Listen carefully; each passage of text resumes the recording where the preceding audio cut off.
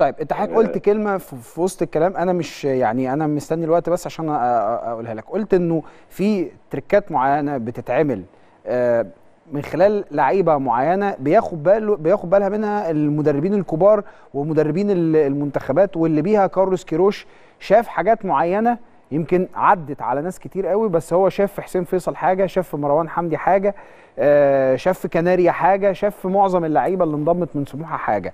طيب هو شايف إيه في مروان حمدي؟ ومروان عليه حالة لغط كتير في الفترة آه، ال- اللي فاتت. شايف إيه في مروان حمدي؟ ومروان ناقصه إيه عشان العملية تظبط افضل أقول لحضرتك على حاجة عشان بس ال ال الهجمات ال- الكبيرة جدا على اللعيبة بشكل كبير جدا وأنا مش معاها خالص إن أنا ممكن أقول أنا ممكن أقول ما يعجبنيش لعيب أنا كمحلل أنا ممكن أبقى محلل في يوم من الأيام إن أنا بي ما بيعجبنيش طريقة لعب لعيب ك- كفرد. أيوه. لكن أنا بح... الفرد ده أنا بقول عليه إن هو ما بيحققش واحد اتنين تلاتة فنيا. امم لكن أنا ما بدورش برضو كمحلل على طريقة لعب المنتخب. مم.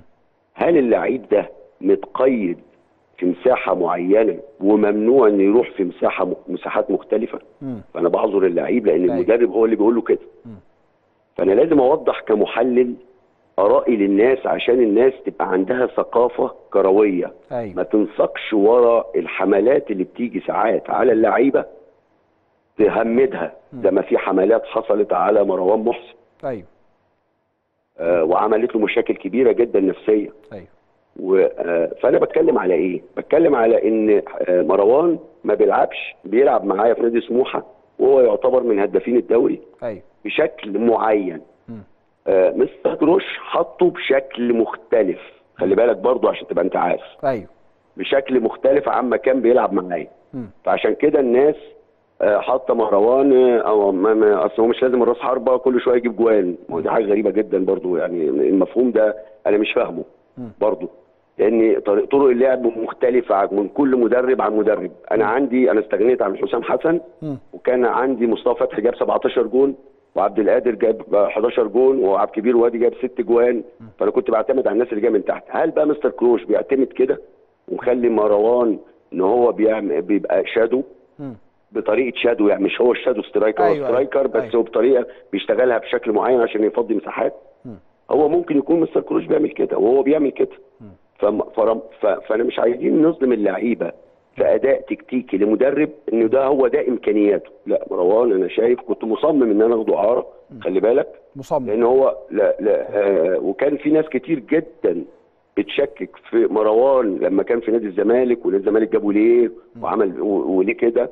فأنا كنت شايف في مروان حاجات مختلفة عن كل الناس وكنت مصمم. حتى كان ال ال ال طلبت كده بال- ال- بالبشمهندس فرج المجلس القديم قبل ما يرحل يعني طلبت منه إن أنا أتعاقد مع مروان وصممت إن أنا أتعاقد معاه.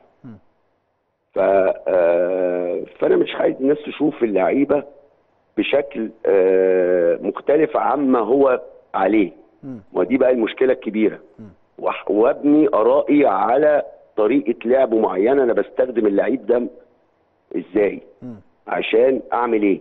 فهو الكلام ده لازم المحللين يحللوا بشكل تفصيلي مش محللين بشكل كروكي.